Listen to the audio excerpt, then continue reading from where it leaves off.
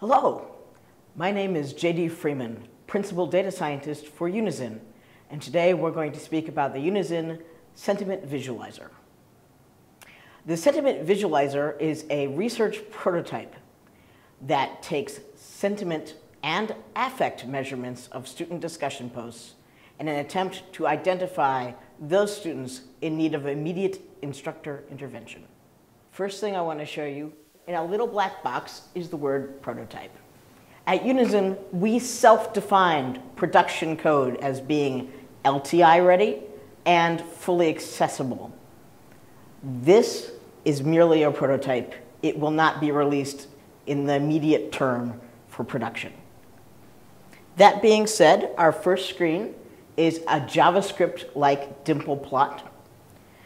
We have selectable variables for the term, the course, the student, and whether or not they are on alert. What does alert mean? It means that if I have measured that student's post contributions to a particular discussion thread, and I have found them to be one standard deviation grumpier than the rest of the cohort for that thread, they can be put on alert either for sentiment or for affect either way. And those students are showing up here as the purple dots. When I hover the cursor over any given dot, you can see an animated line draws to help you read the axes, and a tooltip appears, telling us the student's name, which discussion post we're talking about, whether they're on alert, and what the sentiment score was.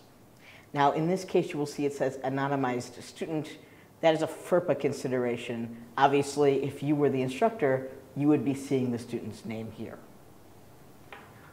Moving on, we have a table. The table is exactly the same data representation as in the chart. But here's something that you can look up. And one of the things I will point out is that we are measuring affect along three vectors, frustration, uncertainty, and inquisition or questioning. I would emphasize at this point that uncertainty here is a linguistic modality. Okay? I would also like to show this screen because what we have done here is algorithmically redacted names and locations.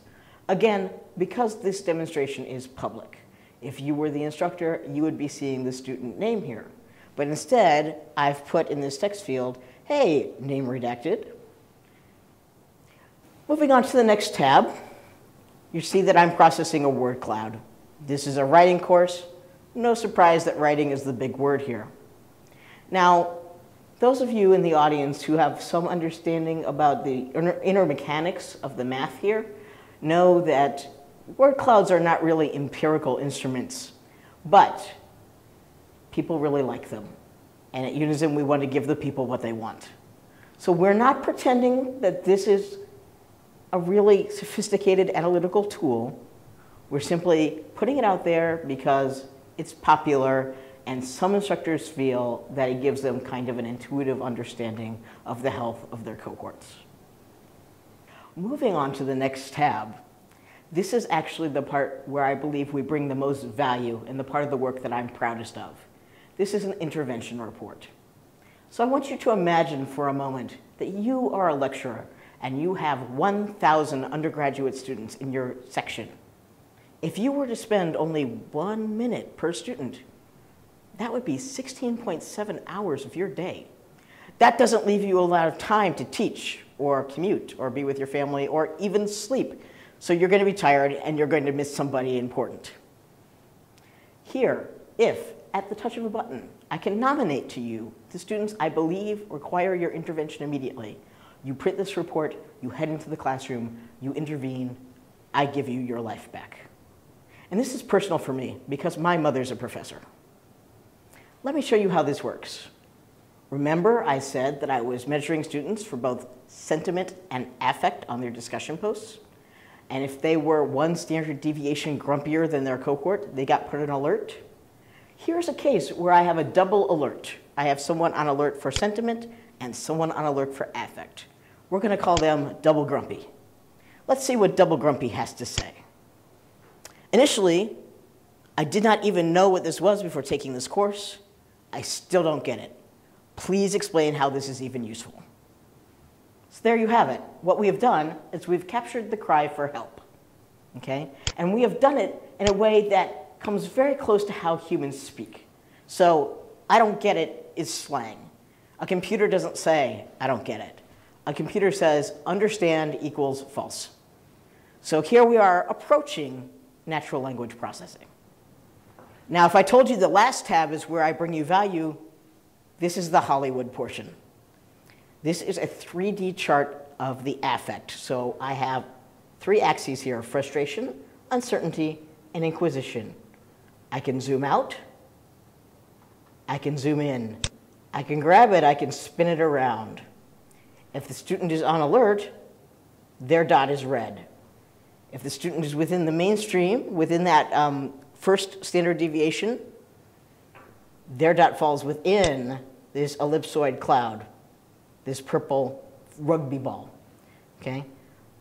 The shape of that rugby ball tells you a little bit about the health of the crowd, because that doesn't have to be a rugby ball. It could turn out to be a pancake for all we know.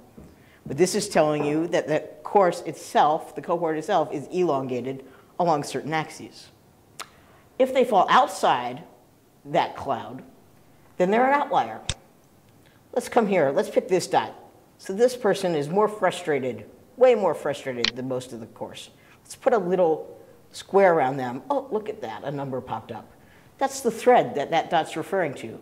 So now we could go back to that thread and see what's up with that person. If I take the chart and I move it around again, the label stays with that dot. This is the Unizin Sentiment Visualizer.